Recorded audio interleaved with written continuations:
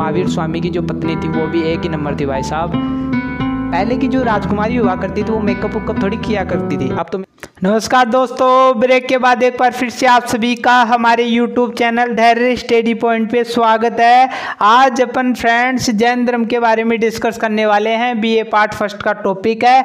और जो बौद्ध धर्म था आपका, वो बौद्ध धर्म मैं पहले ही पढ़ा चुका हूँ। यानी एक या दो महीने पहले ही मैंने बौद्ध धर्म को बढ़िया डिटेल से पढ़ा रखा है। यदि आप बौद्ध धर्म से संबंधित भी जानना चाहते हो क्योंकि वो भी वेरी इंपॉर्टेंट क्वेश्चन बन जाता है, बड़े क्वेश्चनों में आ जाता है। है आता ही है, ठीक है? तो उसको यदि आप देखना चाहते हो तो या तो आप है ना, जो मेरे चैनल पर जाकर या आपको लोगो दिख रहा होगा धैर्य का, उस पर यदि आप क्लिक करोगे तो वीडियो का सेक्शन खुलेगा। वहाँ पर आप जाकर नीचे करोगे ना तो वहाँ पर आपको बौद्ध धर्म मिल जाएगा। या मैं उसका लिंक डिस्क्रिप्शन बॉक्स में डाल दूँगा। उसको भी देखना न भूले। जैन धर्म की बात करते हैं। काफ़ी डिटेल से अपन डिस्कस करेंगे। दो तीन वीडियो में इसको ले लेंगे। तो फ्रेंड्स जैन धर्म और बौद्ध धर्म। यदि आपको जैन धर्म को बढ़िया तरीके से जानना है तो आपको बौद्ध धर्म और जैन धर्म में तुलनात्मक अध्ययन करना होगा। इससे क्या होगा कि दोनों धर्म आपके कंप्लीट अच्छी तरीके से समझ में आ जाएँगे। दूसरी बात, जैन धर्म और बौद्ध धर्म में टाइम पीरियड जो है, इनकी जो उत्पत्ति हुई थी, इनका विकास हुआ, इनका कालक्रम क्या रहा, इन दोनों के बीच में आपको अंतर नहीं दिखाई देगा। दोनों धर्म पास पास के हैं, ज़्यादा अंतर नहीं दिखाई देगा। अब एक बहुत बड़ा क्वेश्चन उठता है, फ्रेंड्स, कि जैन धर्म और बौद्ध धर्म आखिरकार में क्यों आए? इसका प्रमुख आंसर ये हो जाएगा, फ्रेंड्स, क्योंकि जो वैदिक धर्म था, जो हमारी संस्कृति थी, उसमें उस टाइम काफ़ी सारी बुराइयाँ आ गई। जैसे बहुत सारे आडंबर आ गए, अंधविश्वास फैल गया और जो आर्य थे उन्होंने काफ़ी सारी बुराइयाँ आ गई थी। जैसे आप देखोगे कि पहले जो आर्य थे, वो एक ब्राह्मण यज्ञ कर लेता था। लेकिन इस टाइम क्या हुआ कि सौ सौ दिन तक यज्ञ चलता था सौ सौ ब्राह्मण होंगे उसमें। तो इस प्रकार उसको है ना कमाई का साधन बना लिया। अंधविश्वास काफ़ी फैल गया। शूद्रों को वैदिक धर्म में स्थान नहीं दिया गया। जो नीच जाति के बोले जाते हैं, उनको उसमें स्थान नहीं दिया गया।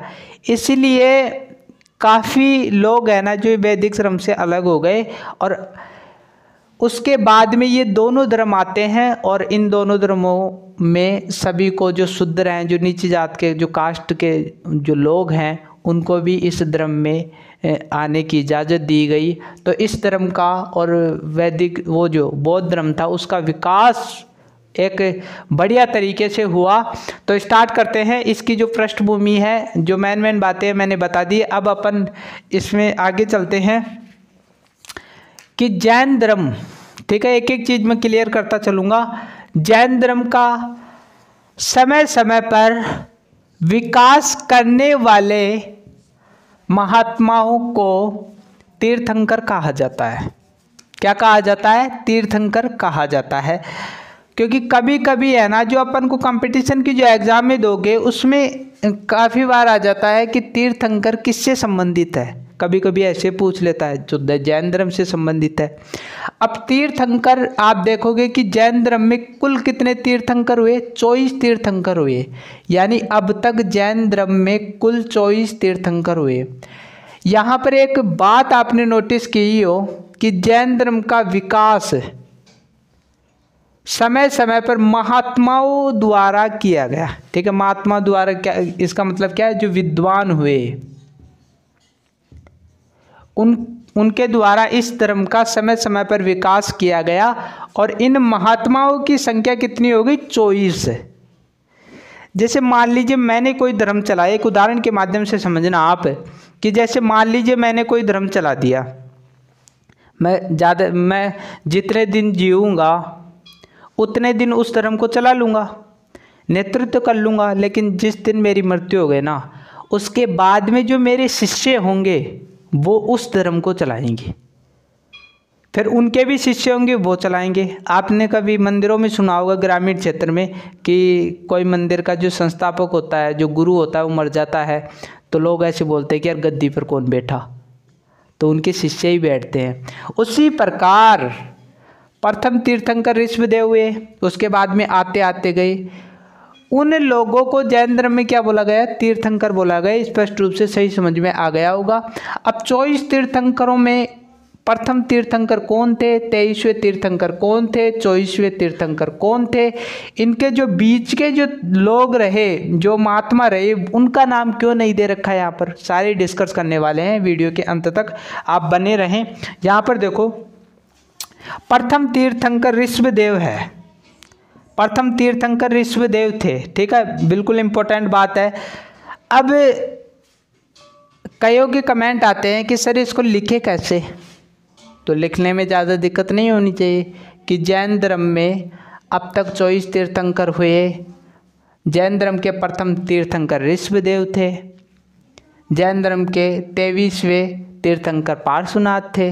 और चौबीसवें तीर्थक यानी अंतिम तीर्थक महावीर स्वामी हुए।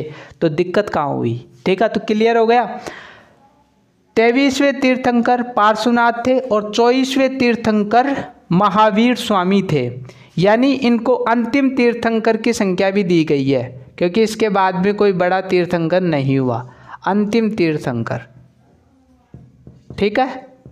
अंतिम तीर्थंकर कौन माने जाते हैं? महावीर स्वामी माने जाते हैं। अब आपके माइंड में एक क्वेश्चन उठ रहा होगा कि इनके बीच के कहाँ गए? दूसरे, तीसरे, चौथे पाँच यानी तेईस तक इसके जो बीच के जो तीर्थंकर थे, वो कहाँ गए? तो फ्रेंड्स, विद्वानों का इन पर कंट्रोवर्सी है, यानी विवाद है। कोई मानते, कोई नाम बताते अलग, कोई बताते अलग। तो इतिहासकारों के बीच में है ना, जो मतभेद है, इसलिए कई किताबों में उनके नाम नहीं दे रखे, कई किताबों में दे रखे हैं। तो आपकी जो बुक है, उसमें भी इनका नाम नहीं लिख रखा, सीधा ही लिख रखा है। प्रथम तीर्थंकर तेईसवें और चौबीसवें, ठीक है? आगे चलते हैं। महावीर स्वामी की जीवनी बायोग्राफी। क्या उनका जीवन रहा? कितना उन्होंने, कितनी कठिनाइयाँ झेली? उनके माता पिता का नाम क्या था? तो मैंने है ना जो टॉपिक बना दिया इसके अंतर्गत कि जन्म स्थान यानी जो महावीर स्वामी है, उनका जन्म कहाँ हुआ आखिरकार में? तो यहाँ पर देखो, वैशाली के निकट एक गाँव था, कुंडल ग्राम। वहाँ पर हुआ था, कब हुआ था? पाँच सौ निन्यानवे ईसा पूर्व। इनका जन्म पाँच सौ निन्यानवे ईसा पूर्व को वैशाली के समीप कुंडल ग्राम में हुआ था। अब इस लाइन को कैसे लिखोगे? कि ऐसे लिखना है, महावीर स्वामी का जन्म वैशाली के निकट कुंडल ग्राम में पाँच सौ निन्यानवे ईसा पूर्व को हुआ था। क्लियर हो गई बात? आगे चलते हैं। इनका वंश कुल अब आप देखते हो, आप आपके भी कोई ना कोई वंश होगा, मेरा भी वंश है। उसी प्रकार महावीर स्वामी का भी कुल था, वंश था। अधिकतर ये क्षत्रिय वंश के हुए हैं। जैसे आप देखोगे कि महात्मा बुद्ध भी एक राजा का पुत्र ही था, यानी क्षत्रिय था। तो देखो, इनका कुल क्या है, वो देखते हैं। ज्ञात्री, ज्ञात्रिक क्षत्रिय कुल। इनके वंश का नाम ध्यान रखना ज्ञात्रिक क्षत्रिय कुल, क्योंकि इसमें भी आपको लिखना है और आपकी कंपटीशन के एग्ज़ाम में होती है, उनमें भी ये प्रमुख बन जाता है। अब दोनों का कंपैरिजन करोगे आप, महात्मा बुद्ध और महावीर स्वामी का तो महात्मा बुद्ध का जो वंश था, वो साक्य कुल था उनका नाम, यानी उनका वंश का नाम क्या था? साक्य ठीक है? साक्य गणराज्य में उनका जन्म हुआ तो साक्य कुल के थे, ठीक है? इसीलिए आप देखते हो कि महात्मा बुद्ध को साक्य मुनि भी कहा जाता है। उसी प्रकार इनके वंश का नाम क्या था? बता दिया है। इस प्रकार आपको कंपैरिजन करते हुए इसको पढ़ना है, जिससे कि दोनों चीज़ें आपकी क्लियर हो जाएँ। आगे चलते हैं, इनके माता पिता कौन थे, जिन्होंने इनको जन्म दिया? वेरी इंपॉर्टेंट बन जाता है ये भी। इनके जो माता थी, वो त्रिशला थी। ठीक है? अब आपको ये भी पता होना चाहिए कि त्रिशला कहाँ की राजकुमारी थी? क्योंकि राजकुमारी, ये जो त्रिशला थी, वो लिच्छवी वंश की राजकुमारी थी। लिच्छवी वंश, ठीक है? एक लिच्छवी वंश हुआ करता था, उसकी राजकुमारी थी त्रिशला। और यहाँ का राजा कौन था? यहाँ का राजा था चेटक आप काफ़ी बार नाम भी सुनते हो। और ये जो है ना, इनका भाई था, पिता नहीं था। चेटक कौन था? त्रिशला का भाई था, ठीक है? इसके बाद में इनके जो पिता थे, उनका नाम था सिद्धार्थ। सिद्धार्थ इनके पिता का नाम था। ये है ना जो, ये जो कुंडल ग्राम आप देख रहे हो, इनके जो सरदार हुआ करते थे, सरदार थे, और ये कुंडल ग्राम जो है ना क्षेत्र, ज़्यादा बड़ा क्षेत्र नहीं था तो इनके सरदार सिद्धार्थ हुआ करते थे, जो महावीर स्वामी के पिता थे, ठीक है? यदि कंपैरिजन करोगे महात्मा बुद्ध से तो महात्मा बुद्ध की माँ का नाम क्या था? महामाया था। जिनके सात दिन बाद में मृत्यु हो गई थी, यानी महात्मा बुद्ध जब जन्मे थे, उसके सात दिन बाद में उनकी मृत्यु हो गई थी। उसका लालन पालन महाप्रजापति ने पाला था। यदि इनसे कंपैरिजन करते हो महात्मा बुद्ध के पिता का नाम क्या था? तो आप सुनोगे शुद्धोधन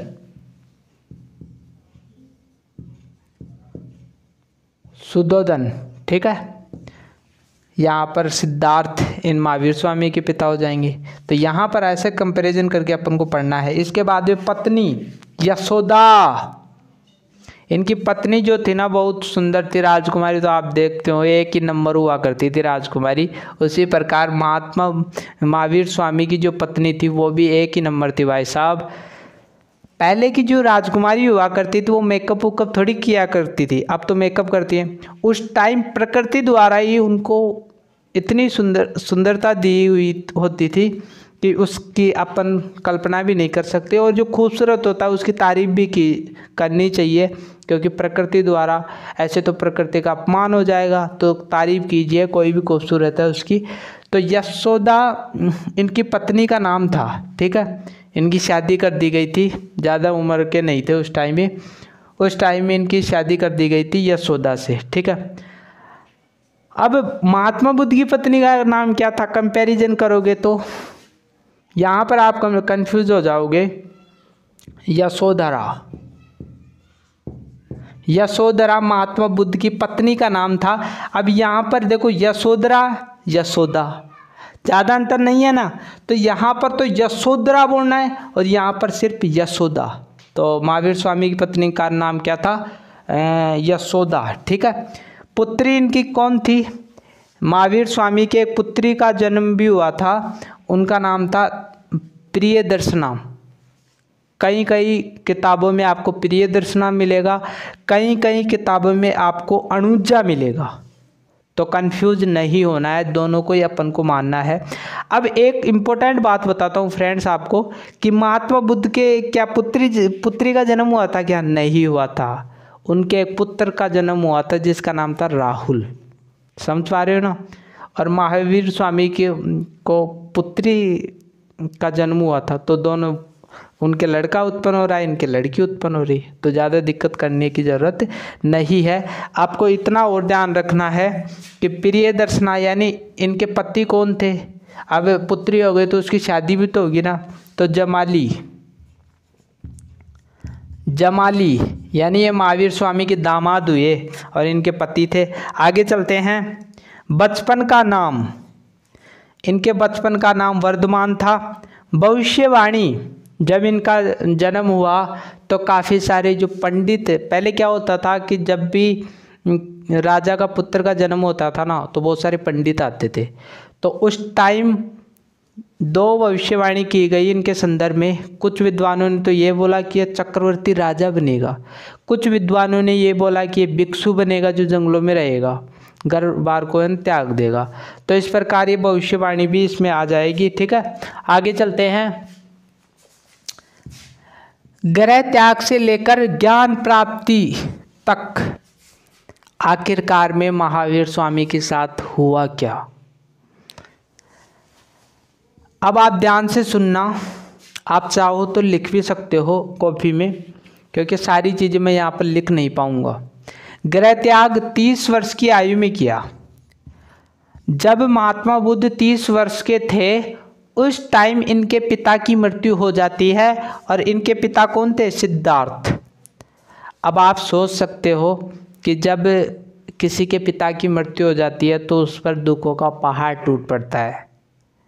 और इस दुख को वो ही अनुभव कर सकता है जिसके साथ ऐसा हुआ हो। अन्यथा कोई भी उस दुख का अनुभव नहीं कर सकता। उसी प्रकार इनके, इनको बहुत दुख हुआ और इन्होंने गृह त्याग करने का मन बना लिया। यानी एक आध्यात्मिकता की तरफ़ इनका झुकाव हो गया तीस वर्ष की आयु में। और इन्होंने क्या किया कि अपने भाई, इनका भाई था नंदीवर्धन। नंदीवर्धन, ठीक है? बड़ा भाई था। इसकी आज्ञा लेकर ग्रह त्याग कर दिया। अब बौद्ध, महात्मा बुद्ध से यदि आप कंपैरिजन करोगे तो महात्मा बुद्ध ने तो किसी की इजाज़त नहीं ली थी। अपनी पत्नी और पुत्र, जिसका नाम था राहुल, उसको सोता हुआ रात्रि में छोड़कर चले गए थे।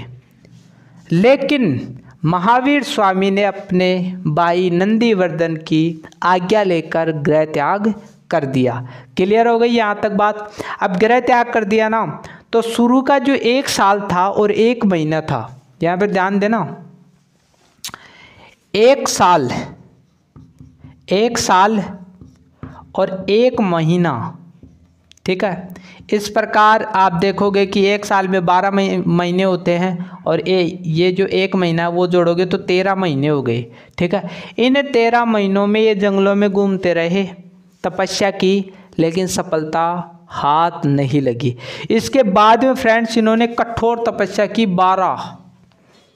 बारह साल तक इन्होंने कठोर तपस्या की और जब ये तपस्या कर रहे थे तो इनके जो वस्त्र थे, वो जीर्ण शीर्ण होकर अपने आप ही गिर गए। खुद नहीं उतारा, अपने आप ही गिर गए। अब अपने आप गिरने के बाद में इनके शरीर पर है ना, जो जीव जो होते थे जंगलों में तो आप देखते हो, यहाँ पर अपन घर में रहते हैं, तब ही इतने मक्खी मच्छर हो जाते हैं गर्मियों में कि बुरा हाल कर देते हैं। अब आप सोच सकते हो कि वहाँ पर जंगलों में एक तपस्या कर रहा है और उसके शरीर पर कितना बुरा ये प्रकार से घाव हो गए होंगे। लेकिन महात्मा बुद्ध समाधि में बैठे हुए थे। उनका जो शरीर था, वो स्थिर था, वो झुके नहीं। बारह साल की कठोर तपस्या करने के बाद में इनको आखिरकार में ज्ञान की प्राप्ति हो गई। अब ज्ञान कहाँ पर प्राप्त हुआ, ये इम्पोर्टेंट हो जाता है। ठीक है? गाँव कौन सा था? जम्बिए ग्राम। जम्बिए ग्राम एक गाँव है और नदी यह भी इम्पोर्टेंट है भाई साहब, नदी इनकी हो जाएगी रिजू पालिका या उजुवालिया। दोनों का नाम, यानी रिजू पालिका का दूसरा नाम क्या है? उजुवालिया। उस नदी के किनारे इनको ज्ञान प्राप्त होता है और इनको केवल्य ज्ञान प्राप्त हुआ। ठीक है? इनको कौन सा ज्ञान प्राप्त हुआ? केवल्य ज्ञान। तो आप इसको कैसे लिखोगे? कि महात्मा बुद्ध को ज्ञान की प्राप्ति जम्बिये ग्राम के निकट रिजुपालिका नदी के किनारे केवल्य ज्ञान प्राप्त हुआ। इस प्रकार आप लिखना सीखो। इसके बाद में मोक्ष प्राप्ति। अपन इसको मृत्यु भी बोल सकते हैं, लेकिन मृत्यु बोलना सही नहीं है। क्यों? क्योंकि एक साधारण आदमी मरता है, उसके लिए आप मृत्यु शब्द यूज़ कर सकते हो, लेकिन जो विद्वान होता है, उसके लिए आप मोक्ष शब्द यूज़ करो, या आप स्वर्गवास भी बोल सकते हो। ठीक है? तो मोक्ष प्राप्ति हो गई, यानी इनको मोक्ष प्राप्ति पिचहत्तर वर्ष की आयु में हुई थी। ठीक है? ज्ञान प्राप्त होने के बाद में ये जगह जगह लोगों को ज्ञान देने के लिए गए। लेकिन ज़्यादा महात्मा बुद्ध के कंपैरिजन करोगे तो महात्मा बुद्ध ने दूर दूर तक ज्ञान का प्रचार किया। लेकिन महावीर स्वामी ज़्यादा प्रचार नहीं कर पाए। यानी दूर दूर जाकर प्रचार नहीं करते थे, अपने संग में बैठकर ही करते थे। क्यों? क्योंकि ये वस्त्र नहीं पहनते थे, नग्न अवस्था में थे। अब नग्न अवस्था में कोई समाज में जाएगा तो ये जो बच्चे होते हैं, वो ही उसका मज़ाक उड़ालेंगे। तो ज़्यादा स्थानों पर ये नहीं गए, अपने जो, क्योंकि नग्न अवस्था में थे, इस जैन धर्म में भी दो संप्रदाय हैं, दिगंबर और श्वेतांबर। श्वेतांबर का मतलब श्वेत कपड़े पहनने वाले, एक संप्रदाय तो ये और दिगंबर जो होते थे, वो नग्न अवस्था में होते थे। तो मा, जो महावीर स्वामी थे, वो ज़्यादा स्थान पर नहीं जा पाए, क्योंकि आप समाज की तरफ़ भी आपको देखना होगा कि फिर वो सारी, बहुत सारी चीज़ें हो जाती है। तो बहत्तर वर्ष की आयु में मोक्ष प्राप्ति हुई इनको। पावा में, ये कहाँ पड़ता है? पटना में। इसका पुराना नाम क्या है? पाटलिपुत्र। सॉरी पाटलिपुत्र, ठीक है? तो पाटलिपुत्र में आखिरकार में पावा में इनका निधन हो गया, बहत्तर वर्ष की आयु में, ठीक है? इसके बाद में जैन धर्म के सिद्धांत हमने जीवनी है ना जो कवर कर ली। जैन धर्म के जो सिद्धांत हैं, उसमें पहला सिद्धांत आता है शादवाद का सिद्धांत। बिल्कुल इजी है, ज़्यादा हार्ड नहीं है। इसको ध्यान से पढ़ो, कहानी के आधार पर मैं आपको समझाऊँगा कि किसी एक, ध्यान देना, किसी एक व्यक्ति को पूर्ण सत्य की जानकारी नहीं हो सकती। जैन धर्म ये कहता है, भाई साहब, जो एक व्यक्ति होता है ना, उसको पूर्ण सत्य की जानकारी नहीं होती है। उदाहरण के तौर पर समझना, आप मेरे से पढ़ रहे हो। आप क्या मेरे बारे में पूर्ण सत्य जानते हो क्या? थोड़ा बहुत नॉलेज होगा।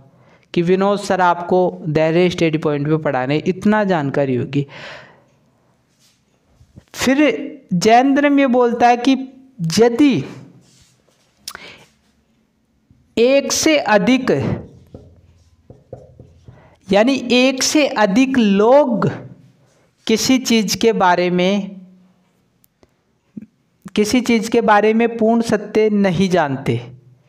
उसके नज़दीक पहुँच सकते हैं, यानी काफ़ी सारी जानकारी रख सकते हैं वो।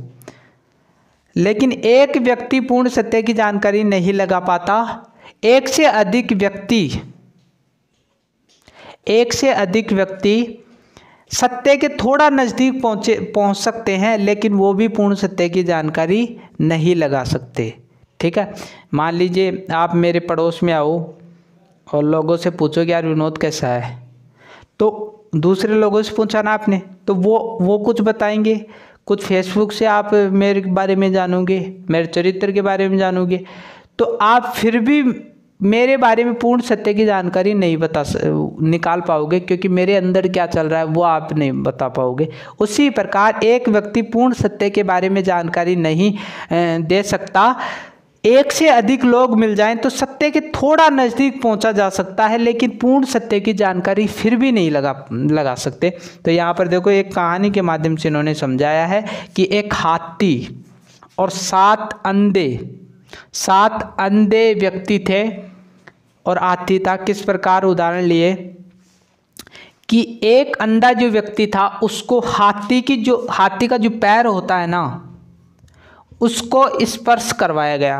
अब आप देखते हो कि एक अंधा व्यक्ति है और हाथी के जब जो ही वो पैर लगाता है, वो हाथ लगाता है तो उसको पूछा गया है कि ये क्या है? तो उसने जवाब दिया कि ये कोई बड़ा सा खम्बा है, ठीक है? दूसरे को उसका, उसकी जो कान है, जो कान है ना हाथी के, उसको स्पर्श कराया गया। तो वो जो अंधा व्यक्ति था, उसने बताया कि तो पंखा है। ठीक है। तीसरा अंधा व्यक्ति आया, उसको है ना, जो जो हाथी की पूंछ होती है, पूंछ होती है, उसको स्पर्श कराया गया। उसने बोला कि ये तो रस्सी है। ठीक है। एक और अंधे व्यक्ति को स्पर्श करवाया गया, हाथी की जो पीठ होती है, उसको स्पर्श करवाया गया। तो उसने बोला कि ये तो कोई पत्थर है। अब आप इस उदाहरण के माध्यम से क्या समझाना चाह रहे हैं? कि कोई भी, हर व्यक्ति है ना जो पूर्ण सत्य नहीं जान पाया आती के बारे में, गलत बता रहे हैं। लेकिन इन सब सातों के सातों व्यक्तियों से यदि पूछा गया कि आप एक एक नहीं बता सकते तो सारे बता दो कि ये क्या है। तो इन्होंने बताया कि ये कोई बड़ा सा जानवर है। लेकिन क्या वो पूर्ण सत्य तक पहुँचे? क्या? नहीं पहुँचे फ्रेंड्स वो यही बता पाए कि ये कोई बड़ा सा जीव है। सत्य के नज़दीक पहुँच गए। नज़दीक पहुँच गए। माइनर डिफरेंस है फ्रेंड्स नज़दीक पहुँच गए, लेकिन पूर्ण सत्य की जानकारी नहीं लगा पाए। उसी प्रकार ये शादवाद ये कहता है कि किसी को पूर्ण सत्य की जानकारी नहीं है और वो इसके माध्यम से ये भी समझाने का प्रयास करता है कि लोगों के पास थोड़ा सा भी ज्ञान आ जाता है तो वो अपने आप को महान विद्वान समझने लगता है। वो ये कहता है कि सारे धर्मों को एक मिल जाना चाहिए। एक, सारे एक मिल जाएँगे तो काफ़ी चीज़ों के बारे में और भी जानकारी मिल सकती है। तो फ्रेंड्स, आज की वीडियो में इतना ही। यदि वीडियो थोड़ा सा भी आपको अच्छा लगा हो तो आप हमारे यूट्यूब चैनल को सब्सक्राइब करना ना भूले, बेल आइकन को दबा दो। मिलते हैं एक नई वीडियो के साथ, तब तक के लिए थैंक यू।